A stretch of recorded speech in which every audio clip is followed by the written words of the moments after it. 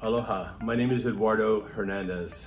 I am a volunteer member of the board of the Hawaii LGBT Legacy Foundation, and I am so grateful to be part of this community. I came out in 1982, and um, you know, in June of 1981, we, the world first came to know uh, about uh, an illness in a select group of gay men. And I was 16 years old and I didn't know anything about pandemics. I didn't know a lot about gay anything. Um, all I knew was that I was unlike anybody I knew in school. and um, and so I was trying to to tap into what why was I so different and where could I where could I find myself? And one day I heard my father say that he was so sorry for my my cousin Lou because Lou Lou had a gay son. And my father said that would be just awful. Um, you know I can't imagine how terrible it is for him. And with that I was like I know somebody who's gay I wrote a letter to my cousin. He was a few years older than me. Uh, our families were close, but he and I weren't close. But I wrote a letter to him and, and I came out to him.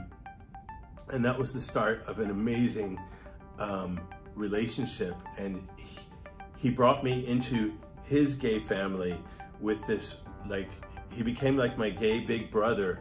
He was very protective of me and um, taught me you know, that like it was okay to be gay and, and we would have dinners together and just normal things and watch videos and, um, and, and I was young and, I, and I, although I heard about this pandemic, I didn't think it could be in, not in this new family that I just found. We were like, you know, we weren't like those other people and um, but then, you know, as I came to learn we were like other people and this was in our family.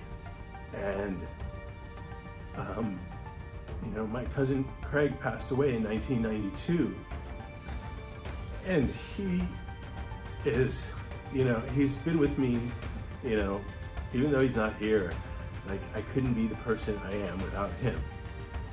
So thank you, cousin Craig.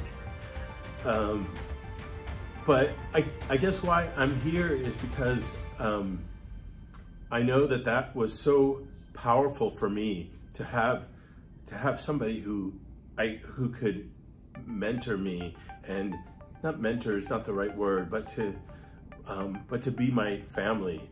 And uh, so like I want to be there for someone else. And that's very much what this organization means to me, is to be there for other people so that uh, no one has to be alone or live in shame or live in fear um, because we're, we're all just like each other and we, that's, that's who we are.